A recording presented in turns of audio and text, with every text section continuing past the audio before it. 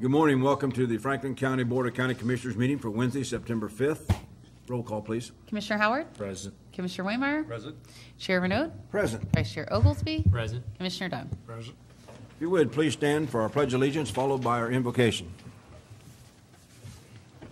I pledge allegiance to the flag of the United States of America and to the republic for which it stands, one nation, under God, indivisible, with liberty and justice for all.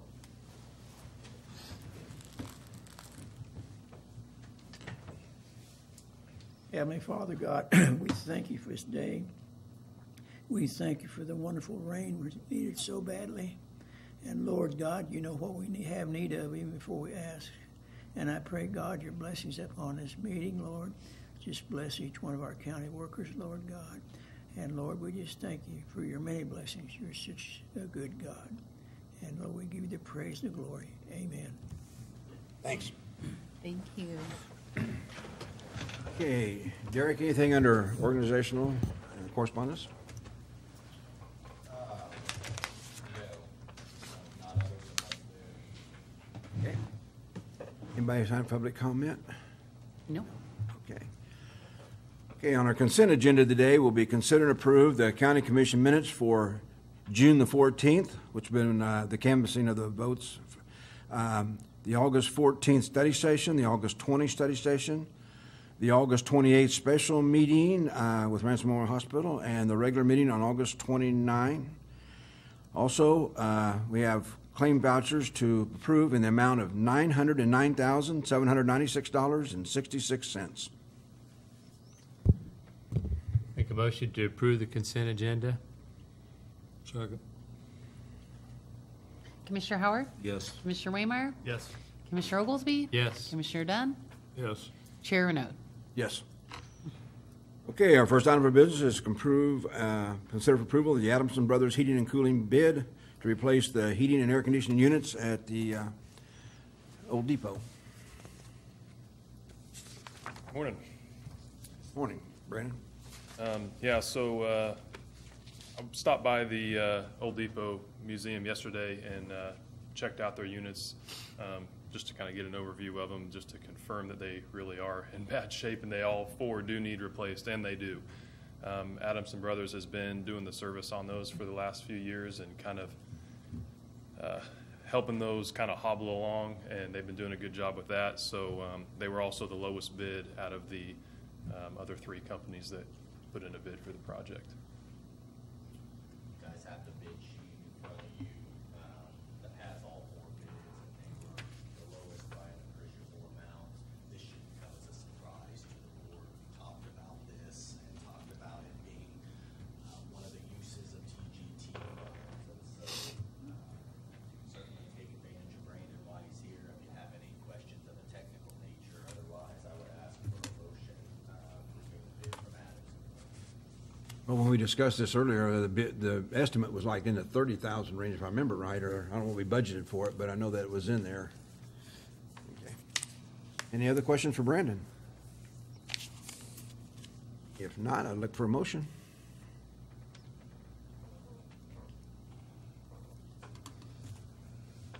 I'll make the motion. We approve Addison Brothers bid in the amount of twenty-two thousand two hundred to replace the four air conditioning units on the Old Depot Museum.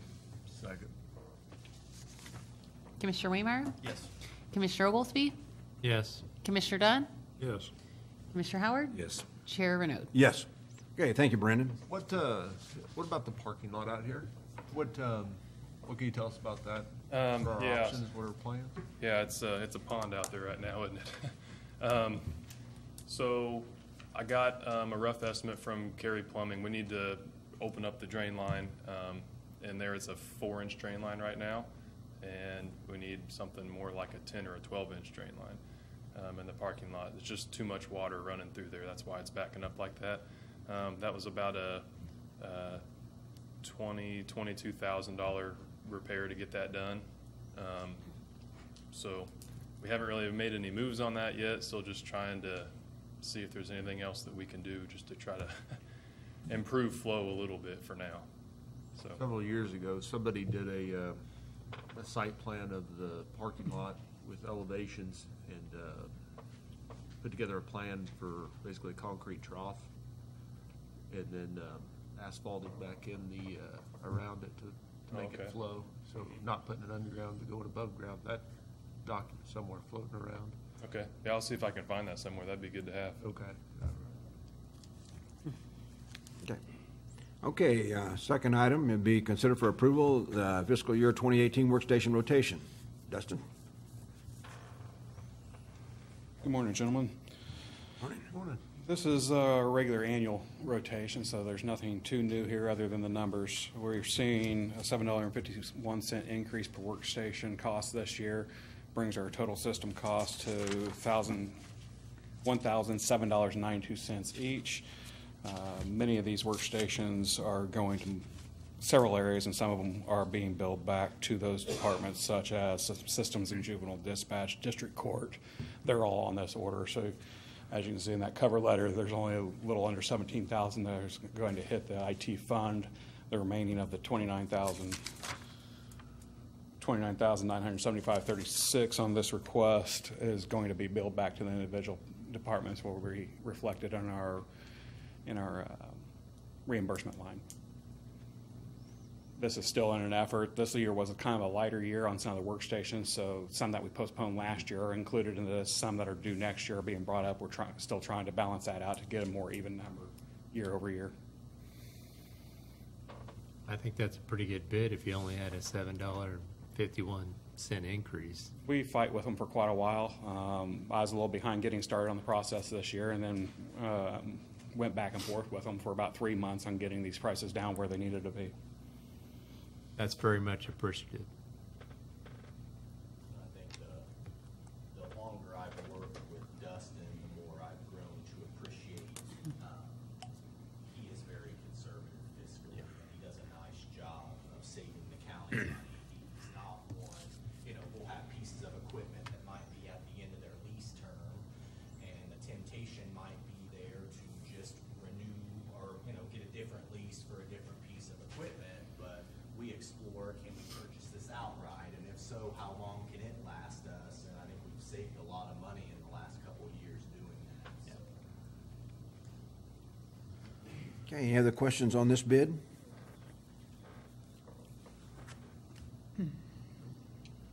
Mr. Chairman, I make a motion to approve the purchase of equipment from Dell Inc. for the fiscal year 2018 workstation rotation in the amount of $29,975.36.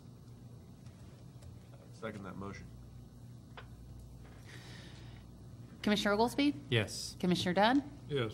Commissioner Howard? Yes. Commissioner Waymire? Yes. Chair Renaud. Yes. Thanks, Dustin.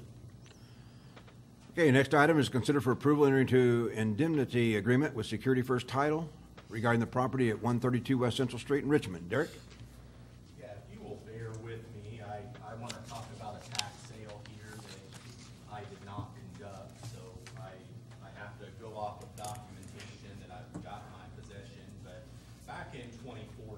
Franklin County did a tax sale. Um, As part of that sale, Cherry Street Homes, um, who has a representative here this morning, acquired a piece of property in Richmond. Um, And the reason they got it was that it was adjacent to another property that they owned. And so they thought they took title to the property and, and nothing's come of it over the last several years. Well, recently, they've made the decision to sell the property. And upon trying to get title insurance for said property, they discovered that they didn't have good title, that the previous owner of the property was never properly served during the tax sale. And so a key component to any lawsuit is you have to obtain good service on the defendant. Here, um, and I've got the summons, I, they did not get service. It appears that previous owner of the property, um, had moved out and, and left the state many years earlier. So I did some background into this. Uh, Sure enough, the owners of the property moved down to Arizona, I mean, eight or ten years ago. They don't own, and I talked with Sue McKay, they don't own any other properties in Franklin County or in Kansas at all.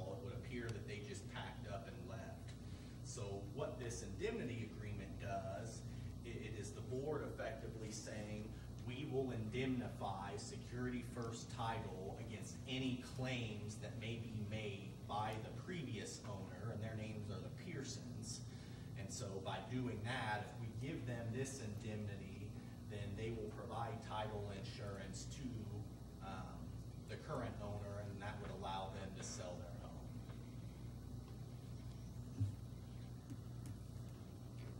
Is this like a vacant lot, or what is this? It's right off of Main Street, isn't it? Right, Yeah, we, we own the house and the lot, uh, and the land, and then it's just, just a small piece of land next to the house. I remember about, something about this when we went through this, and the city of Richmond was dealing with it at their city council meeting a while back too. Uh, What's our potential exposure? Well, the exposure would be that the Pearson family reappears and claims, no, we were actually the owner of this, we were never served. And, and technically, I mean, they, they would have a legal claim, but if you weigh your options, so our alternative, I mean, the county screwed this up. We did not get proper service, and, and I've got documentation here showing that. So we could go try to attempt to locate these folks in Arizona, effectively recreate and redo the entire tax sale, but there's a substantial cost associated with that versus, you know, what are the odds that these folks come back? And that's why we're looking, do they still own property in the area? Where did they leave to? It's not like they moved down to Garnett, where we believe they're in Arizona. I think the actual risk of them coming back to Franklin County is very low, and so I don't, don't see a lot of exposure here practically speaking. Roughly the value of the property? I don't know the rough value of the property. You have a potential sale price. I don't know that. Yeah, but the sale. That's for everything. is not. The, the land is just this little strip of land, a little strip of land that we mowed for all these years. Yeah. And the, and the city of Richmond was tired of mowing it, so they asked us if we were interested, and that's why we purchased, we purchased that so that we mow, basically it's something that we mow. Um, It seems like to me their exposure is not a great amount of money. Yeah, no, the, the monetary amount would be very, very low. In fact, I, I bet it would be lower than the cost of us trying to get these folks properly served. Or them properly trying to get us back to court. Yeah, that's exactly right. If we were dealing with a home, it would maybe be a little bit different situation, given the inherent value of a, of a home, but we're not. so. Did this property have something to do with a railroad right-of-way years ago or something? We're, yeah, it's next to the, um, Rails to trails. Right. And we, we've tried to contact them, so it's not that we've not tried, We- there's several of us that have tried to contact them, and they're not responding.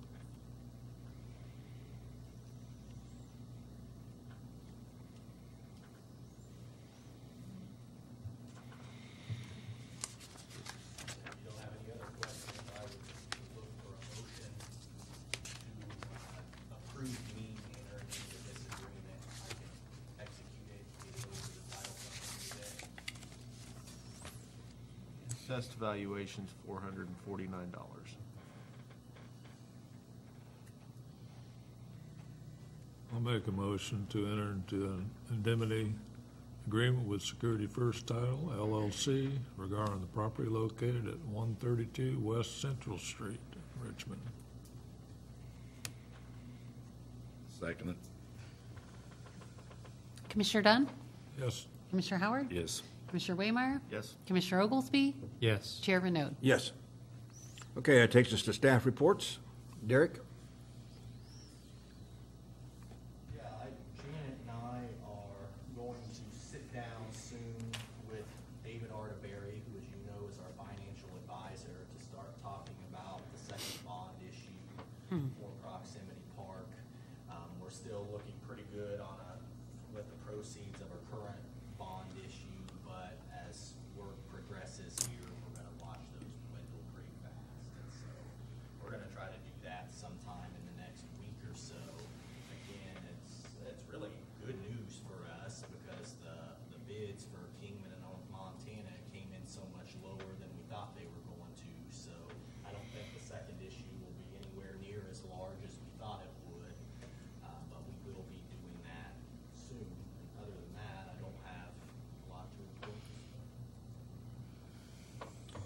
Brandon, anything else?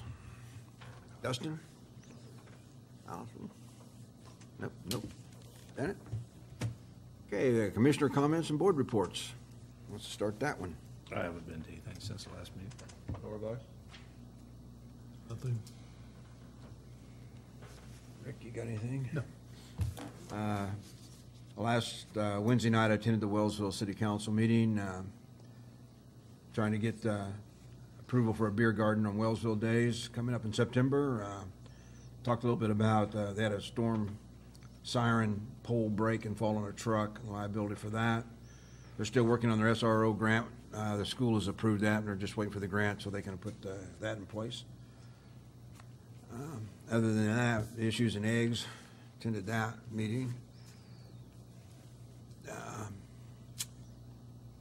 Nothing else then. It looks like we might go to uh, an executive session. I would, I would say that there is, uh, as, as reported in the Ottawa Herald as well, that the 24th at 8 o'clock, there'll be a groundbreaking for the new Arby's on South Princeton that uh, has been a lot of discussion about. And this Friday at the Schindel Conference Center at Ottawa University, there is a chamber coffee that will welcome the new president, uh, Dr. Reggie Swanicki. And if you haven't met him, I would encourage you to, to come and, and get a chance to meet him. He's going to be a great asset to our community, so. Okay. Derek, you're looking for uh, an executive session for 20 minutes? I am, yeah, and you wanna make a motion, I have it laid out right in front of you. Have to move forward myself. Make a motion that we enter into executive session to discuss an individual employee's performance pursuant to the non-elected personnel matter exception, KSA seventy-five forty-three nineteen B, one for twenty minutes, including the county administrator and the Board of County Commissioners. Second? Commissioner Howard? Yes. Commissioner Waymire? Yes? Commissioner Oglesby? Yes. Commissioner Dunn? Yes. Chair Renaud? Yes. Okay. Going at 8:48. Tom, we coming? It is no, uh, 9:08, we're out of executive session. Uh, No action has been taken. There's nothing else from commissioners or Derek. I would look for a motion for adjournment. Make the motion. Second. All right, most second adjourn, all in favor? Aye. We are adjourned.